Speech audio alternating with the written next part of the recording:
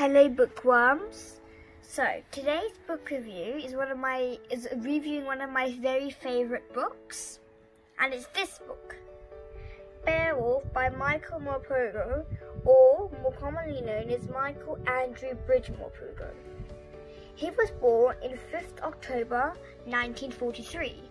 He was a poet, an author, a playwright, and a librettist. He is best known for children's novels such as The War Horse, which he wrote in 1982.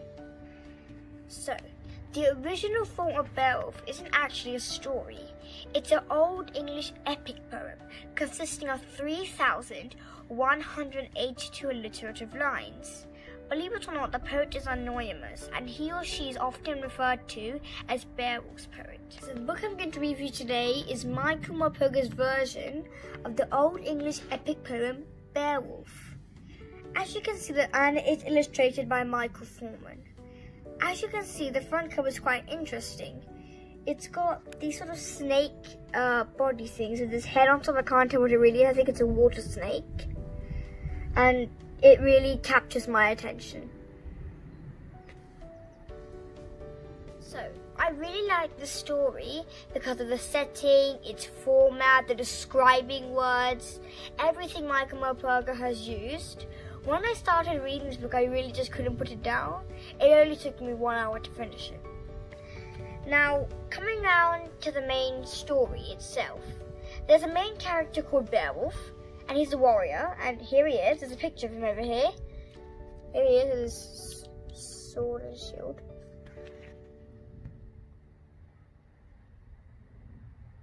So now the main character, Beowulf, he has to fight three monsters in this story, and that's also in the poem as well.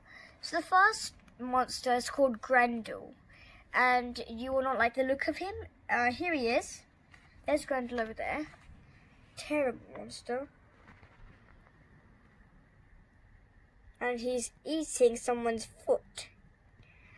And actually, the person he's eating is called uh, Hanskir, and he is a Geatish warrior as well. Because Beowulf comes with other Geatish warriors to help Hrothgar, the king of Denmark. So, coming down to the main story itself. Now, there are lots of characters in the story. There's loads, but I'm just going to mention a few of the main ones. There's Hrothgar, and he's the king of Denmark. There's Beowulf, and he's the warrior. There's also uh, Wulfgar, I think I'm saying it right, and he is Beowulf's man in waiting, or a small warrior who fights with the Beowulf at the end. So as I said earlier, Beowulf has to fight with three monsters. The first one is that terrible hag, Grendel. Then the sea hag, which is Grendel's mother, and Beowulf kills them both. And then there's a third one that's a death dragon of the deep. Now sadly Beowulf dies at that part because of the dragon's humongous flames. And this is where Wulfgar comes in. He fights alongside with Beowulf. And also another thing is the reason Grendel was coming to uh, Denmark. Well, there's a lot of reasons. I'm going to mention you two. Number one, Hrothgar had built a very big mead hall, and that was where all his warriors had came. Because before Hrothgar had went to many battles when he was still young, and he came back with many treasures. And many people thought that there was no end to all his wealth and power, and many more warriors came continuously joined him, and he had a humongous army. But he was also kind to his people. They were well fed and nourished as well. So now, as I mentioned earlier, Hrothgar had built a humongous mead hall, and everyone in there was continuously, day after day, happy. There was singing, there was dancing, there was eating, there was la laughter. It echoed throughout the entire mead hall. Now, nearby, there's this humongous monster called Grendel, which I think you're very familiar with by now. And he, well, he was what you would call a monster from hell itself and he, well, well, all the laughter, the happiness was more than his evil heart could bear. So what he did was he snuck into night when all the uh, warriors were sleeping. They were sleeping inside the mead hall. They stayed there every day. They went home in the morning and they came back at evening. So when they were sleeping there, what Grendel would do is he would sneak by, go inside, would rip open the iron doors, and he would he would kill man after man and only by daybreak did Hrothgar discover the Holocaust that had taken place. And that's when Beowulf comes in.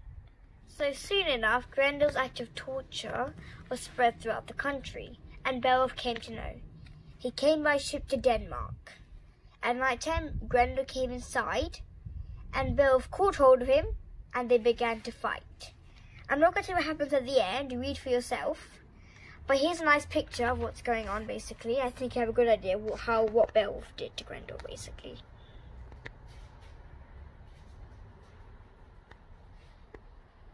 So another reason I really love this book is because of the literary style that Michael Morpurgo has written it in. The describing words, the similes, the way of writing, it's all very, very nice. Another reason I love this book is because of the illustrator, Michael Foreman.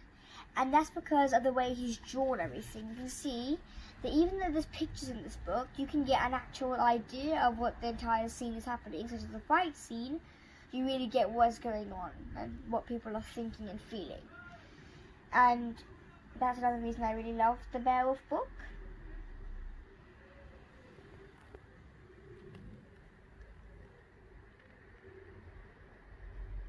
And who can end this book review without Michael Morpurgo's famous quote? As he says, we still fear the, the evil that stalks out there in the darkness and beyond.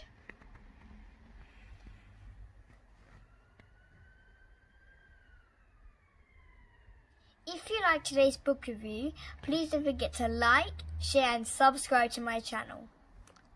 Thank you.